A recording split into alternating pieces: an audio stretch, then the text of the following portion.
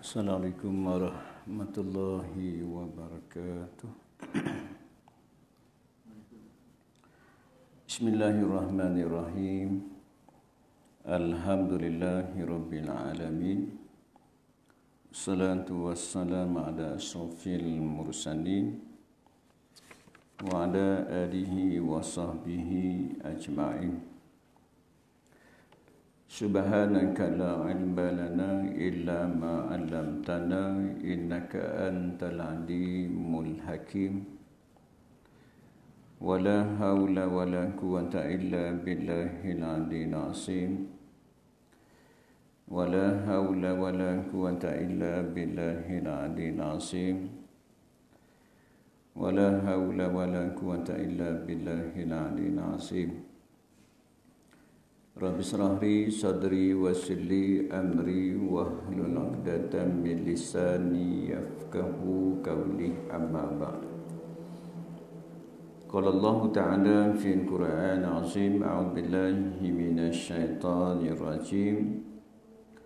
Wallahu akhrajakum min butuni ummahatikum la ta'lamuna syai'a وجعل لكم السمع والأبصار والأفئدة لعلكم تشكرون صدق الله العظيم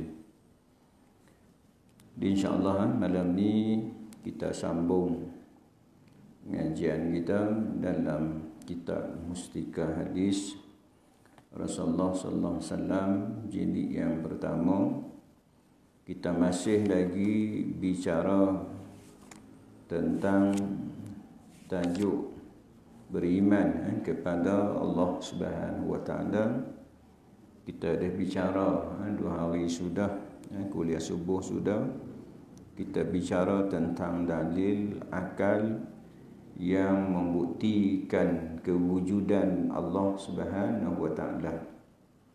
Tentang tentang ilmu usul maka salah satu dalil yang boleh kita guna selain daripada dalil daripada Al-Quran ialah dalil daripada akal ha, sebab kita keistimewaan Allah Subhanahu Wa Taala kurnia kita kepada kita satu nikmat eh, yang paling besar ialah nikmat akal.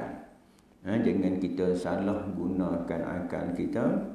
Kalau kita salah gunakan akal kita, di mana kita sebut dah ha, sebelum ni, Allah sebut ulaika kal an'am bal hum adallu. Ha, mereka umpama binatang ternakan lebih teruk daripada daripada tu. Jadi kita masih yang tajuk yang sama.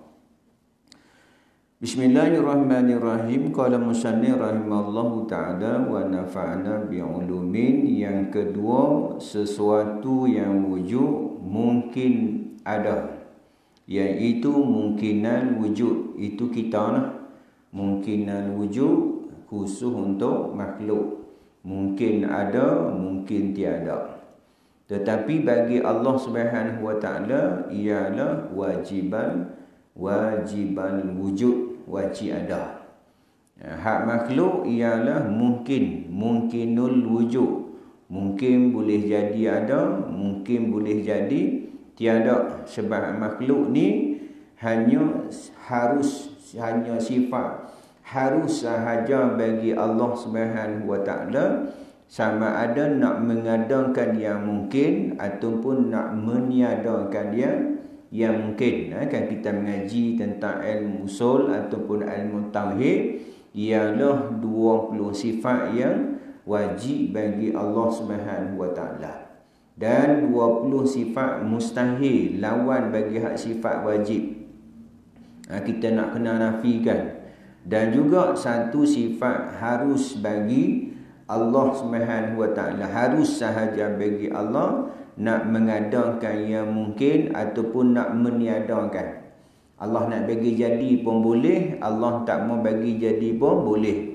Hanya sifat harus sahaja bagi Allah tak ada siapa-siapa yang memaksa Allah Subhanahu wa taala nak jadikan sesuatu. Ha, boleh Allah nak bagi jadi hanya Allah kata jadi. Innama amruhu idza arada syai'an ayyakula lahu kum fayakun Allah kata jadi jadi saja. Ha, di atas sifat iradat sifat kehendak Allah Subhanahu wa taala. Bila lagi azali lagi ha, azali lagi kehendak Allah.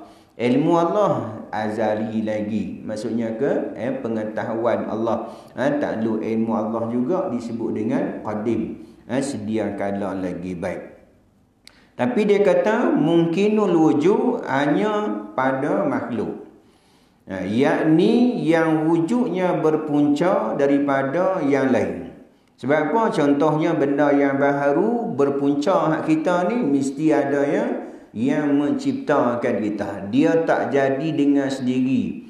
Sebagai contoh ilmu akal yang boleh kita guna, contohnya adanya masjid ni, adakah masjid ni wujud dengan sendiri? akan kita akan bicara akan beritahu wujudnya masjid ni mesti ada yang mengadakan masjid ni ada yang buat masjid ni adanya meja yang berada di hadapan saya ni adakah meja ni ada dengan sendiri? Akan kita akan berkata mesti ada yang buat meja ni. Ataupun adanya ayat dalam atas meja ni yang ada ni yang belum buka ni ayat ni. Adakah ada ayat ni dia ada dengan sendiri tak? Mesti ada yang meletakkan di atas meja dia tak kamai dengan sendiri kalau tuan-tuan tak percaya tengok CCTV mesti ada yang meletakkan air ni di atas meja ni dia tak kamai dengan sendiri Maksudnya apa? Mesti ada yang meletak. Dia takkan mai dengan sendiri.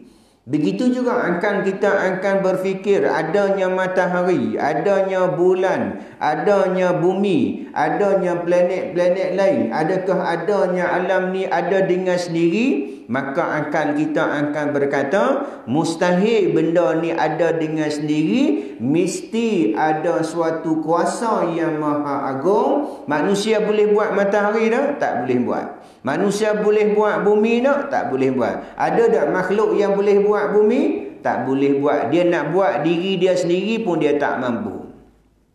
Ni kita ni nak buat diri kita. Contohnya mata kita. Apabila rosaknya mata kita yang Allah cipta ni. Kalau kita nak buat mata yang lain. Nescaya mata yang kita buat tu tak sama dah. Tak sama dah hak kita buat ni tak sama macam mana ha? Allah Subhanahu Wa Taala cipta. Dan apa yang kita buat juga berhajat kepada sesuatu. Kita nak buat sesuatu, nak buat meja, kita berhajat dengan kayu, pokok dan sebagainya. Yang kita nak buat masjid, kita berhajat kepada pasir. Kita berhajat kepada simen. Kita berhajat kepada paku. Kita berhajat kepada sesuatu ciptaan Allah SWT. Tak boleh kita nak buat sesuatu hak milik kita sendiri. Padahal diri kita juga milik siapa? Milik Allah Subhanahu Wa Taala yang selalu kita sebut apabila berlaku ujian, berlaku musibah, berlaku kematian, kita disunatkan kita berkata qalu inna lillahi wa inna ilaihi raji'un.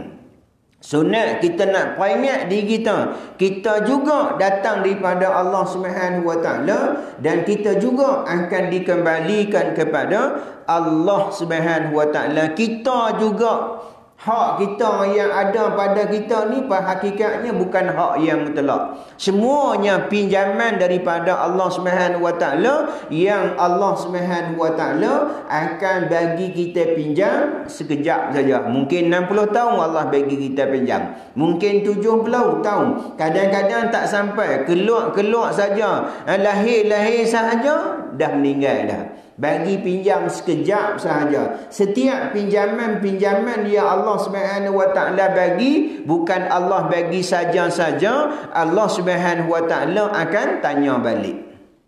Allah akan tanya balik. Mata Allah bagi kita pinjam 60 tahun. Telinga Allah bagi pinjam 60 tahun. Kaki Allah bagi pinjam 60 tahun. Semua pinjaman-pinjaman yang Allah SWT bagi Allah akan tanya. Di mana satu cerita kisah. Eh, ketika Nabi ziarah satu jenazah. Balik tabir berkata. Beruntunglah si mayat ni ahli syurga. Nabi Pizarah orang meninggal satu jenazah balik tabir berkata beruntunglah si mayat ni ahli syurga. Nabi panggil dia macam mana kamu tahu dia ni ahli syurga. Mungkin masa-masa yang Allah Subhanahu Wa Taala bagi pada dia dia buang begitu saja dia akan ditanya di atas masa.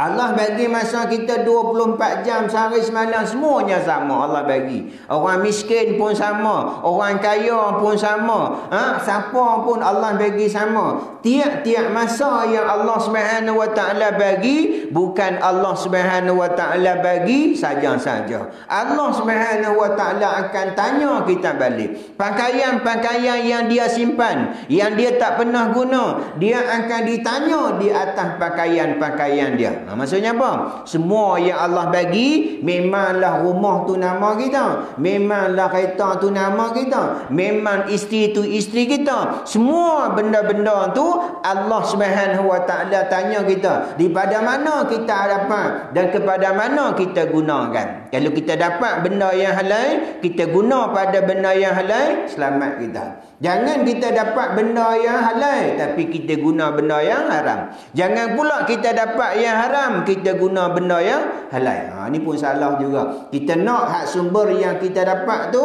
kita dapat pada benda yang haram daripada halal dan kita guna pula benda-benda yang haram. Sebab apa? Setiap benda-benda yang kita guna ni sebagai pinjaman dan setiap pinjaman yang Allah Subhanahu taala yang kita pinjam, Allah Subhanahu wa taala akan ambil balik dan Allah Subhanahu Wa Taala akan tanya apa yang hak kita hak buat atas dunia ni. Jadi hak kita ni sebut dengan mungkinal wujud yang ini yang wujud berpunca daripada lain. Maksudnya kita ni Allah yang bagi jadi. Dalilnya saya dah sebut selalu tiap-tiap selalu saya buka kuliah saya saya akan baca ha, firman Allah Subhanahu wa taala a'udzubillahi minasyaitonirrajim wallahu akhrajakum min butuni ummahatikum la ta'lamuna syai'a wa ja'ala lakum sam'a wal absara wal afida la'allakum tashkurun kata Allah kamilah yang mengeluarkan kamu daripada pada perut ibu kamu dalam keadaan kamu ni tak tahu apa. Allah yang mengeluarkan kita dalam banyak-banyak benih, dalam banyak-banyak benih yang berlaku persetubuhan di antara lelaki dan perempuan tu keluar benih yang banyak, maka Allah Subhanahu Wa Taala lah yang mengeluarkan kita, yang pilih kita. Daripada apa? Dulu tiada Allah pilih kita. Allah yang mengeluarkan kita daripada perut ibu kamu. Allah kata, kamilah yang mengeluarkan kamu daripada perut ibu kamu dalam keadaan kamu dulu ni tak tahu apa.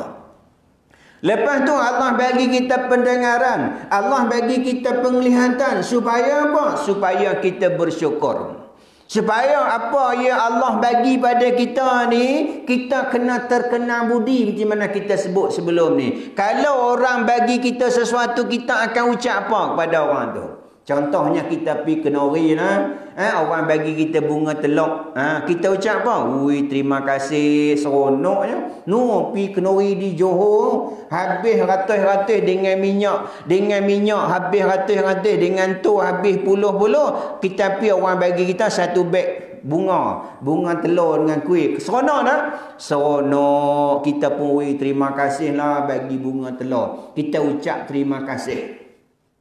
Tetapi Allah Subhanahu Wa Taala bagi kita ni daripada kita tiada lah kita ada. Dan Allah Subhanahu Wa Taala bagi macam-macam. Satu-satu nikmat yang kita kadang-kadang sedap dan kadang-kadang kita tak sedap ialah nikmat udara ni. Yang Allah bagi ni tak berhenti-berhenti. Masa kita tak tidur pun Allah bagi. Masa kita tidur pun Allah bagi juga nikmat udara. Yang kalau kita nak bayar orang yang terkaya di dunia pun tak mampu nak bayar Ni kita duk tarik. Pernah tak malam-malam kita nak tidur, kita minta kepada Allah pernah tak? Ya Allah, ya Tuhanku, jangan lupa udara, jangan lupa angin. Ya Allah ni aku nak tidur ni ya Allah, jangan lupa angin. Pernah kita minta? Tak pernah kita minta. Eh, tak pernah kita minta nak tidur. Ya Allah jangan lupa ni. Angin ni kalau tak ada angin ni 5 minit 10 minit mati aku. Nikmat ni yang kita duk sedut tarik lepas tarik lepas tarik lepas ni kalau orang yang terkaya di dunia pun tak mampu nak bayar nikmat ni yang Allah bagi. Cuma Allah Subhanahu Wa Taala dia tidak berhajat kepada apa yang Allah bagi dia tidak berhajat sedikit. Dunia ni bagi Allah Subhanahu Wa Taala nak balik dengan sebelah sayap nyamuk tu pun sebelah sayap nyamuk tu lebih berharga daripada daripada ni nilai apa yang hak kita hak Allah bagi ni tak ada nilai. Cuma Allah tak mau yang tu. Allah tidak berhajat kepada benda tu. Contohnya kita mai semayang. Agak-agak kalau kita tak semayang, agak-agak Allah lemah dah. Tak payah duduk semayang, ha? tak payah duduk mengaji, ha? tak payah duduk puasa, tak payah buat perintah Allah. Bagi Allah lemah lah sikit. Agak-agak Tuan Haji lemah dah Allah. Allah tak lemah sikit pun. Walaupun semua manusia yang ada di atas muka bumi ni tak mau sujud pada Allah Subhanahu Wa Taala, Allah Subhanahu Wa Taala tetap berkuasa. Siapa yang rugi? Kita yang rugi tak buat perintah Allah. Kita yang rugi. Kita yang akan sengsara. Dunia tidak dapat keberkatan dalam kehidupan. Di akhirat besok akan diazab oleh Allah SWT. Allah tak ada heran sikit pun. Kalau semua manusia sujud pada Allah. Semua manusia buat taat perintah Allah. Allah SWT tak tambah pun kekuasaannya. Allah tetap berkuasa. Kalau semua manusia tak mau sujud kepada Allah, Allah Subhanahu Wa Taala tak kurang sikit pun keagungan kekuasaannya. Allah Subhanahu Wa Taala tetap berkuasa. Tetap berkuasa dia tidak berhajat tetapi kita yang ada ni berhajat kepada Allah. Nak melihat kita berhajat dengan mata. Nak melihat kita berhajat dengan cahaya. Nak dengar kita berhajat kepada telinga. Nak dengar kita berhajat kepada suara. Kalau tak ada suara boleh dengar tak kita?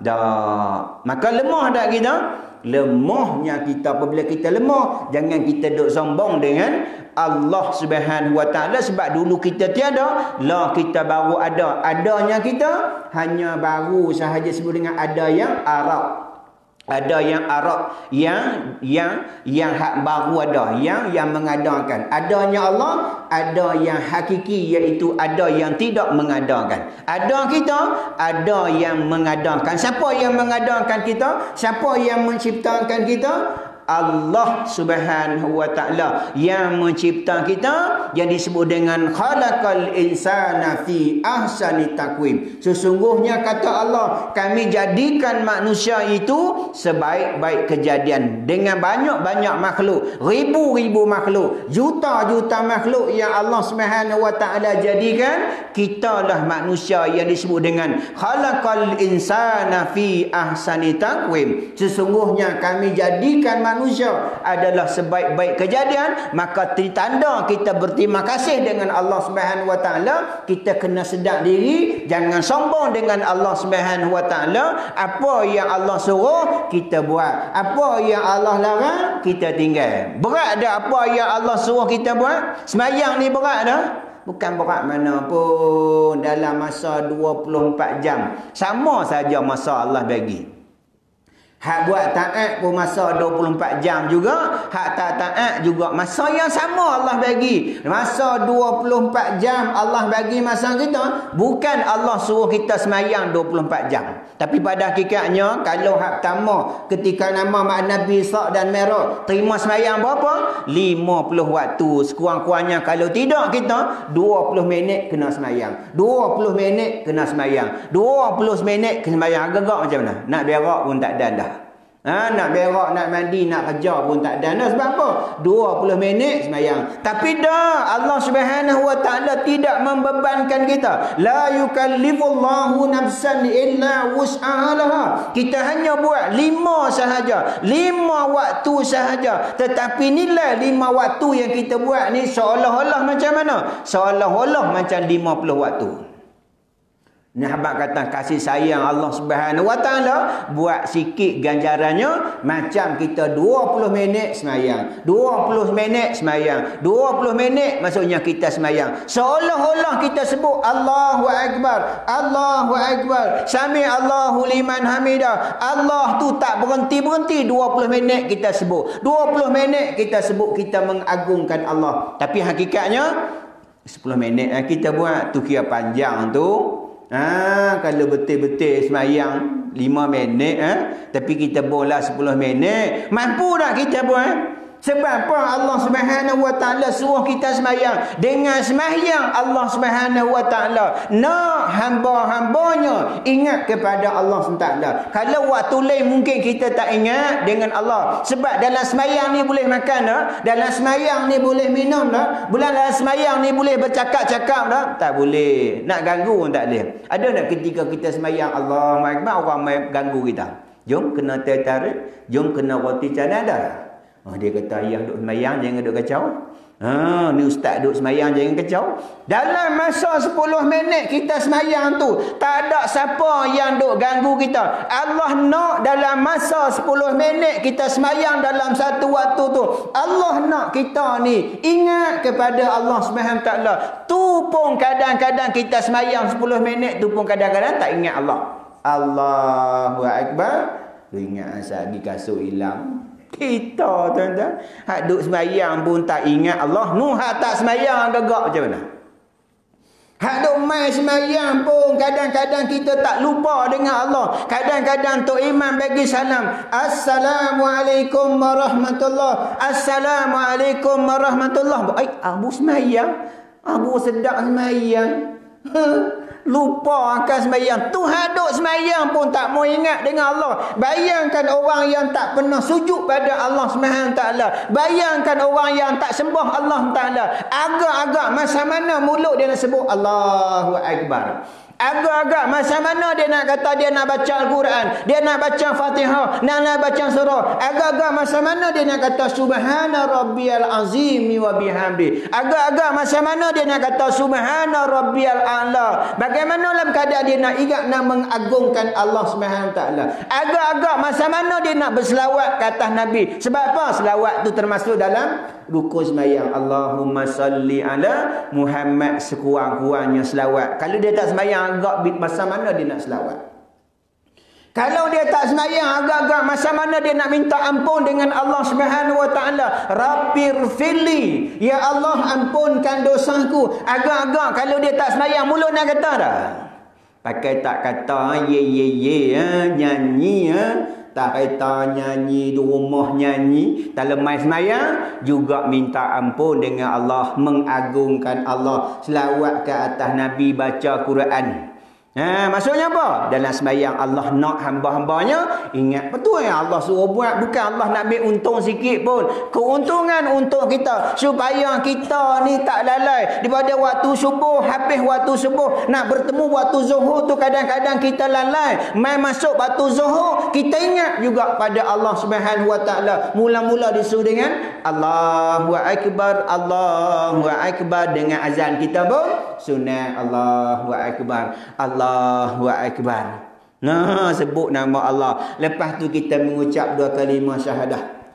Asyhadu alla tu eh, tu tu bila azan kita pun mengucap dua kalimah syahadah. Saya lagi komat kita agun Allah. Dalam sembahyang kita agun Allah. Sembahyang tu kata untung sembahyang supaya kita tak lalai ingat pada Allah. Kita kena sedar kita dulu tiada maka ucapkan tanda kita berterima kasih dengan Allah Subhanahu wa taala iaitu mengingati Allah Subhanahu wa taala. Kita ingat dengan Allah Subhanahu wa taala. Yang kedua setelah kita ingat pada Allah Taala. Kita memuji Allah Subhanahu Wa Taala dengan kita kata apa?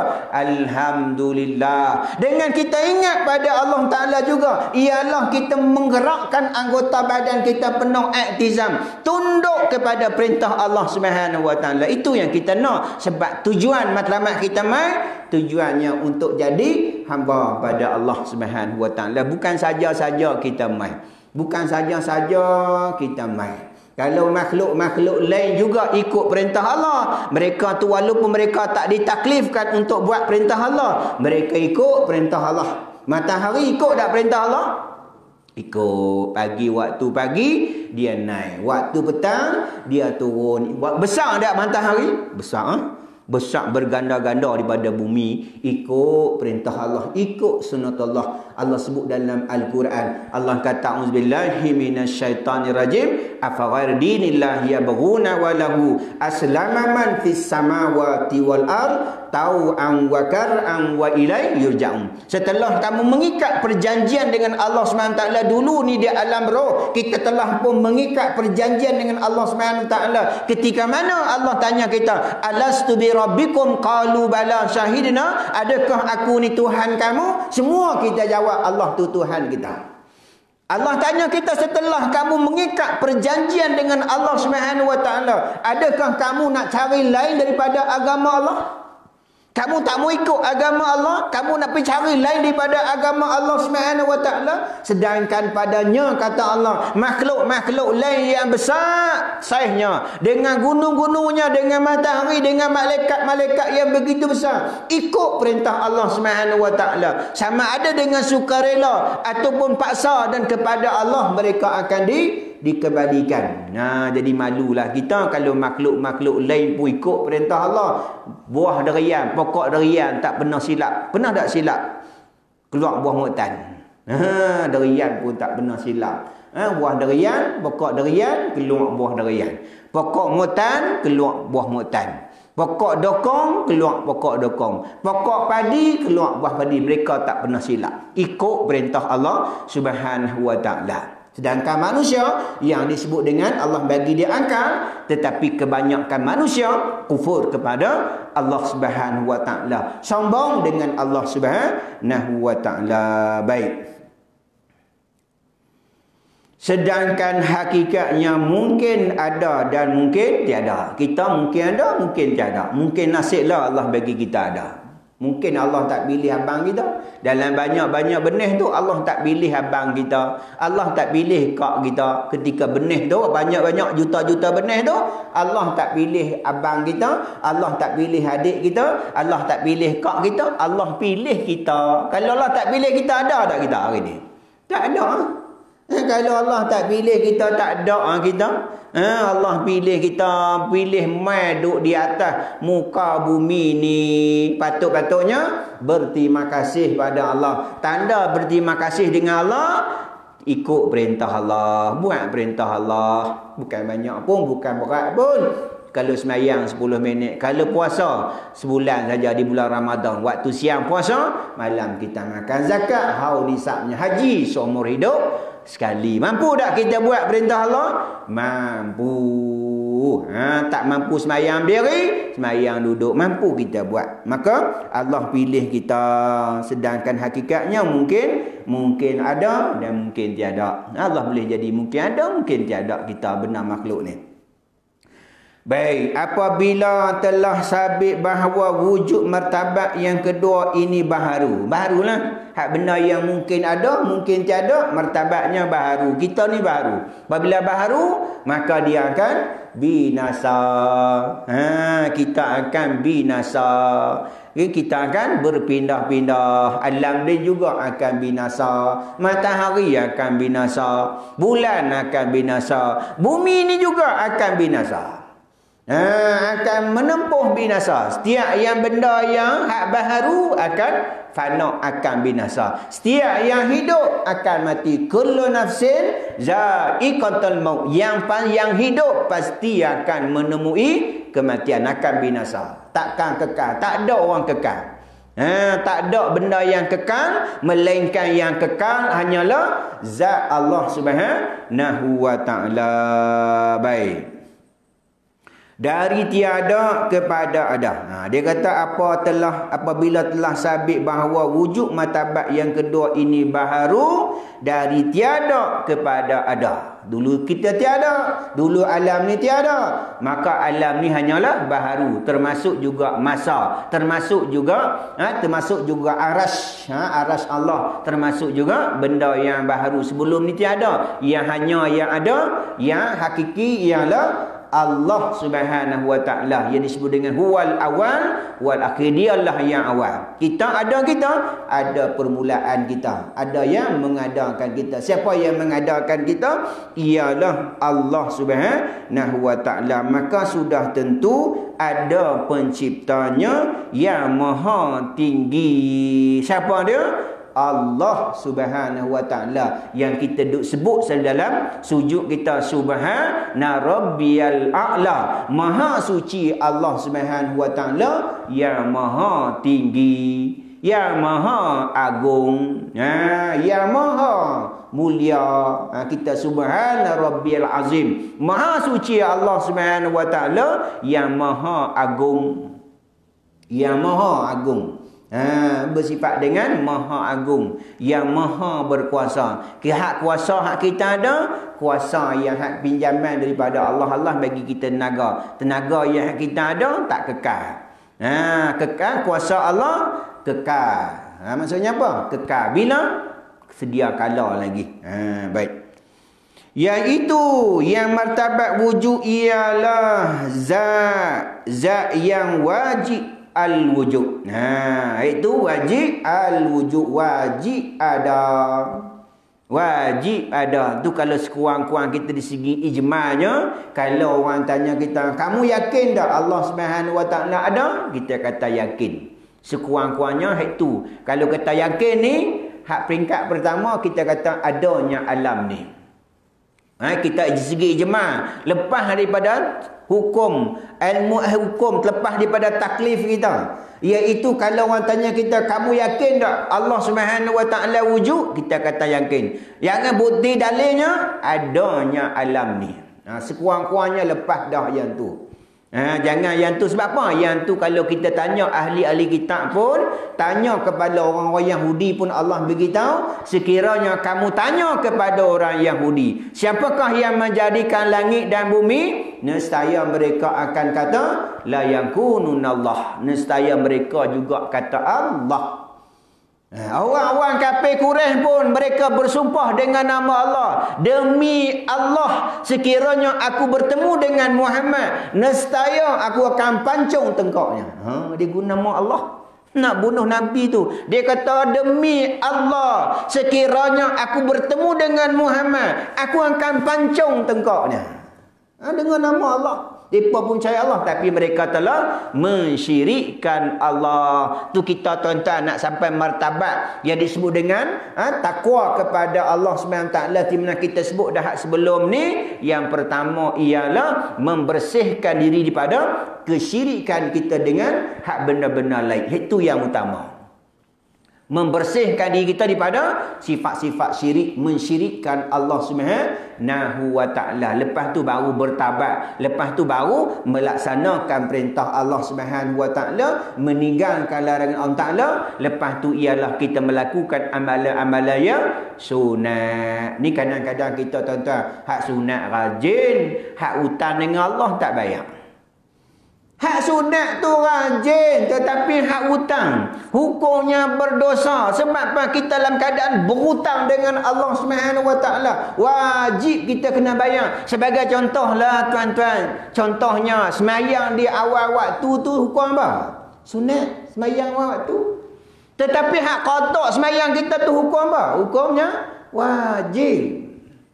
Cuma Hadis do'if kata boleh dahulukan yang hak fardu lepas tu baru buat yang hak qada. Contohnya masuk waktu boleh juga hak do'if hadis do'if kata boleh sembahyang hak fardu dulu lepas tu buat yang qada. Tapi hak sepakat ulama kata wajib bunuh buah hak hutang kita dengan Allah Subhanahu wa taala. Wajib nu hak mengafab semayang awal waktu tu ialah afdal semayang. Sunat kita semayang awal waktu. Tetapi hak qada wajib kita segera qada semayang kita. Tapi tak apalah hak kita main ni hak kita tak ada hutang dengan Allah, tak ada qada, nu habaq hak hutang tu. Ni hak main majlis ni semua tak ada hutang, tak ada qada, tak apa. Buat awal waktu sunat. Buat orang waktu tu sunat. Tu kadang-kadang kita tuan-tuan. Kita buat yang sunat. Tinggal hak wajib. Sebagai contoh tuan-tuan. Waktu yang wajib. Waktu mana sebayang? Waktu wajib. Waktu yang dekat-dekat nak habis waktu. Contoh kita kata waktu asar, pukul 4 suku lah kita kata. Pukul 4, 4.10 tu wajib dah sembahyang zuhur. Kena wajib waktu yang wajib. Hak sebelum ni waktu sunat. Nu hak kotak tuan-tuan sunat kan wajib? Hak kotak nu wajib. Kadang-kadang kita ui, buat yang sunat. Ha, maksudnya apa kita buat ni hak sunat. Sunat salah dah buat sunat? Tak salah ni hak kita buat sunat. Sebab kita tak ada hutang dengan Allah. Kita semayang dulu mau mak balik semayang dah. Tapi nak abang kata orang yang hak hutang dengan Allah Taala. Orang yang hutang dengan Allah Subhanahu Wa Taala wajib kalau dia tinggal dulu dengan sengaja, wajib dia segera dia taubat pada Allah. Wajib dia segera qada sembahyang dia. Kalau tinggal dengan sengaja. Tapi kalau dia tinggal tu tak sengaja, dia tak tahu jahiliah maka sunat segera. Ha, sunat saya segera. Itu hak do'if. Tapi hak kuatnya, wajib segera dia qadok. Hak benar tinggal. Sebab apa? Kalau dia tak buat, masuk dia duduk dalam keadaan murka Allah ta'ala. Di mana Allah sebut dalam Al-Quran. Allah kata, A'udzubillahi minasyaitanirajim. Wa malam yahkum bima azallah. Fa'ulaika humuz zalimun. Siapa yang tidak melaksanakan perintah Allah ta'ala. Mereka itulah kata Allah orang-orang yang zalim. Siapa yang tak melaksanakan perintah Allah Subhanahu wa taala kata Allah, mereka itulah orang-orang yang fasik. Siapa yang tidak melaksanakan perintah Allah Subhanahu wa taala kerana keingkaran, mereka itulah kata Allah orang-orang yang kafir. Minta lindung daripada Allah Subhanahu wa taala. Maka kita kena sedar kita ni adalah hamba Allah, makhluk ciptaan Allah Subhanahu wa taala. Kita adalah hamba Allah Subhanahu wa taala, maka sudah tentulah ada pencipta yang maha tinggi, yang maha agung, siapa Allah Subhanahu wa taala, maka wajiblah kita sebagai hamba pada Allah Taala ikut perintah Allah Subhanahu wa taala iaitu zat yang wujud al-wujud. Wajib al-wujud dan sudah tentu pula bahawa tiap-tiap yang baharu wujud ya tiap-tiap baharu yang wujud hanya wajib al-wujud dan sudah tentu ha, wujudnya sentiasa berhajat kepada pemberi wujud. Hak benar kita ni kita berhajat kepada yang mewujudkan kita. Kita ni tidak ada kuasa tu kita dengar kita selalu sunat. Kita dengar azan sampai hayya ala salat sampai hayya ala falah. Sunat kita kata la haula wala quwata illa billah. Tidak ada daya upaya.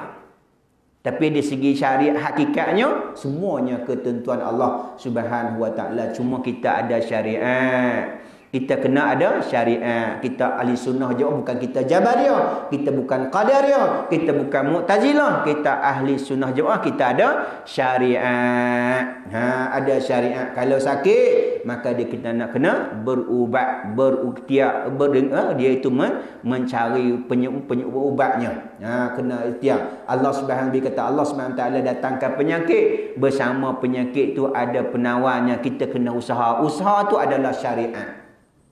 Yang menyembuh tu di segi adab kita kata aku saya kena ubat Panadol dua biji lega demam itu di segi adab kita. Tapi hakikatnya yang menyembuh tu ialah Allah Subhanahu taala. Salah dah cakap tak salah lah cakap itu adab kita.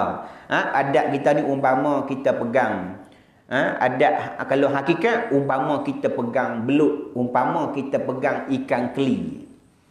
Pegang beluk boleh pegang pelan-pelan dah, pegang kuat-kuat. Oh, sebab apa? Takut dia terlucur. Hak tu hak adat. Ha, adat jangan pegang kuat-kuat, ha, tak boleh pegang macam beluk tu. Pegang macam pegang anak burung. Umpama kita pegang anak burung, kita pegang mana? Pegang anak burung, pegang kuat saja. Pegang pelan lah. Pegang sikit tak macam tu lah. Jangan pegang kuat. Nanti matilah anak burung tu. Ha, jadi kalau hak, eh, hakikat, pegang sungguh-sungguh ni. Ha, hak mentauhidkan Allah Taala. Pegang sungguh-sungguh tak mau lepas dah. Tetapi hak adat ni pegang, jangan pegang sungguh-sungguhlah.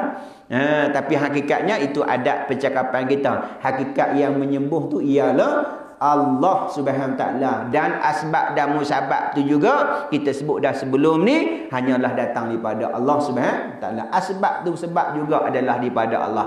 Api ha? api contohnya sifat membakar. Membakar juga ada pada hakikatnya ada segi adabnya kalau kita bakar pasti akan membakar Yang membakar tu juga adalah ketentuan daripada Allah. Ada kalanya kalau api tu tak membakar seperti mana ketika mana Allah Taala Namrud lempak Nabi Ibrahim ke dalam api yang begitu kuat, api tu tak membakar. Pisau pada adatnya hukumnya dia memotong ikut sunat Allah. Tapi ada kalanya ketika mana Nabi Ibrahim menyembelih anaknya tak potong. Ha, itu maksudnya apa? Benda tu benda yang berlanggar dengan adat. Adat maknanya ada yang ada yang semua kita pegang dengan kita pegang, pegang sekuat-kuatnya, pegang macam pegang anak burung lah adat tu. Tapi hak syariat, hakikatnya pegang sungguh-sungguh macam kita pegang belut tu, pegang sungguh-sungguh. Takut terlucut. Ha, kalau kita pegang pelan-pelan, saya belut tu akan lucut.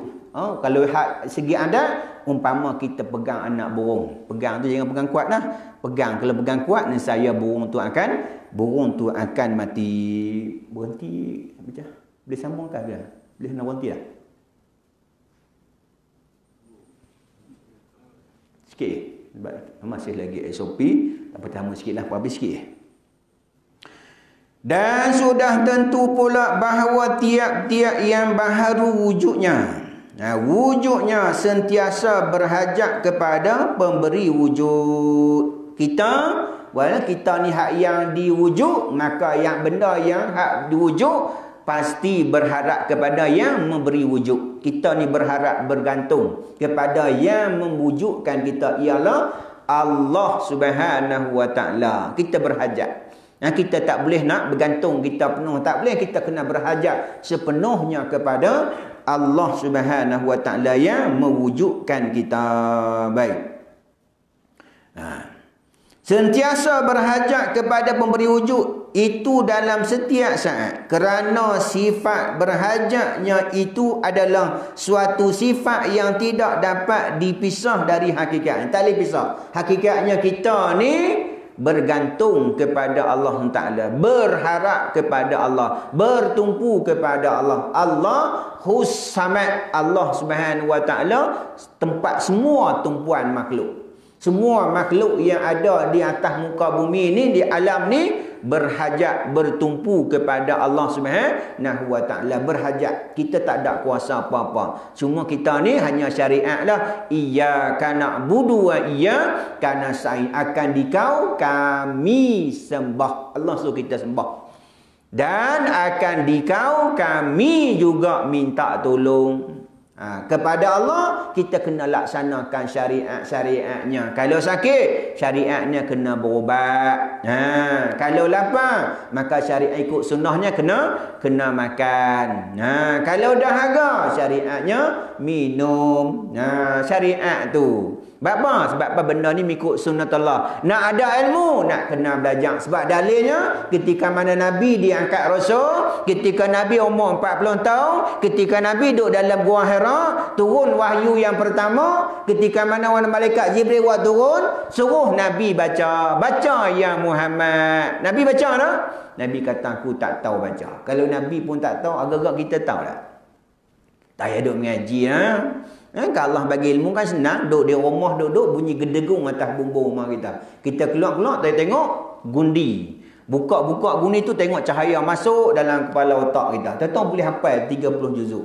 Boleh tak? Boleh bagi Allah. Mudah bagi Allah nak bagi.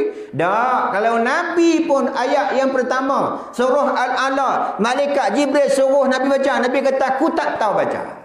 Suruh sampai tiga kali. Lepas tu, lepas tu malaikat Jibril ajak Nabi. Iqra' bismi rabbikal lazi khalaq. Baru Nabi baca. Ikut sunatullahnya. Suruh kena belajar. Tu dalam hadis Nabi sebut. Talibul ilmi faridotun ada kullil muslimin wal muslimat. Menuntut ilmu tu adalah wajib. Syariat. Wajib kita kena tuntut ilmu. Maka atas orang lelaki dan juga orang perempuan. Sama juga nak kenal Allah. Nak kenal Allah Allah sebut dalam Quran, fa'lam annahu la ilaha illallah. Hendaklah kamu mengetahui bahawa tiada ada Tuhan yang disembah malaikat Allah. Ha? Allah suruh kita menuntut ilmu. Ha? Suruh kita belajar. Hakikatnya apa? Syariat. Maka yang nak bagi tu siapa? Maka yang nak bagi tu eh Allah nak bagi. Insya-Allah kalau kita buat insya-Allah ikut sunnatullahnya Allah Subhanahu Wa Taala akan bagi. Boleh tak kalau Allah nak bagi macam tu? Boleh tak Allah nak semua semua nak bagi semua orang di berincang ni mai rumah Allah boleh mudah bagi Allah. Boleh tak Allah nak bagi semua orang beriman kepada dia? Boleh bagi Allah. Mudah bagi Allah Subhanahu Wa Taala. Tapi dah Allah dah bagi ha, amaran, bagi ancaman, bagi ganjaran. Siapa yang taat perintah Allah, siapa yang taat perintah Rasul, nescaya kami masukkan mereka ke dalam syurga. Allah beritahu siap-siap. Siapa yang ikut perintah Allah, siapa yang ikut perintah Rasul, nescaya kami masukkan mereka ke dalam syurga yang mengalir di bawahnya sungai-sungai. Kekal di dalamnya. Mereka mendapat kemenangan yang besar. Tapi ingat kata Allah, orang yang engkar perintah Allah, orang yang engkar perintah Rasul, menghalangi ketentuannya. Nescaya kata Allah, kami masukkan mereka ke dalam nara neraka. Allah beritahu siap-siap. Ha, boleh eh, buat buat ingkar. Boleh nak Allah syurga? Boleh. Mudah bagi Allah. Syurga neraka tu hak milik Allah ikut Allah. Tapi dah Allah bagi siap-siap Allah hantar Rasul untuk bagi peringatan. Benda-benda yang seronok, benda-benda yang menakut. Basyiran wa nazira bagi peringatan. Maka orang yang ikut peringatan, insya Allah dia selamat dunia dan juga selamat di akhirat. Orang yang tak ikut syariat Allah Subhanahu Wa Taala, dunia pun tak berkat. Allah sebut dalam surah Taha Allah beritahu Allah kata auzubillahi minasyaitonirrajim. Wa man a'rada an zikri fa inna lahu ma'isyatan dangka siapa yang berpaling daripada peringatanku kata Allah bagi mereka kehidupan yang sempit. Dan kami bangkitkan mereka di akhirat besok kata Allah dalam keadaan matanya buta. Mereka akan bertanya kepada Allah ya Allah ya Tuhanku kenapa kami dibangkit dalam keadaan buta ya Allah? Sedangkan dulu Dulu kami boleh celak ya Allah. Allah kata apa? Dulu dibacakan ayat-ayat kepada kamu, kamu lupa. Hari ini kamu dilupakan oleh Allah Subhanahu Wa Taala. Dulu kamu lupa Allah, kamu tak ingat Allah. Hari ini kata Allah, kamu dilupakan oleh Allah Subhanahu Wa Taala. Tegahnya sebagaimana tiap-tiap yang baharu itu berhajat kepada pemberi wujudnya daripada tiada kepada ada. Kita tiada, lah kita ada. Maka hak kita ada ni kita bukan ada saja-saja, kita diberi tugas. Kita diberi amanah oleh Allah Subhanahu Wa Taala untuk memikul keamanah ni. Allah jadikan alam ni sebagai kita ni sebagai khalifah di atas muka bumi ini untuk mengurus alam ini mengikut syariat Allah Subhanahu Wa Taala. Sebut juga dalam Quran tidak aku jadikan jin dan manusia tujuannya untuk jadi hamba kepada Allah. Ha, ingat kita ni hamba Allah. Buatlah perintah Allah subhanahu wa ta'ala. Ha, perintah Allah ni bukan hanya kita main semayang, puasa, mengajinya. Kita buat tu kerana Allah dapat pahala. Kerja perintah Allah. Sebab nak cari nafkah.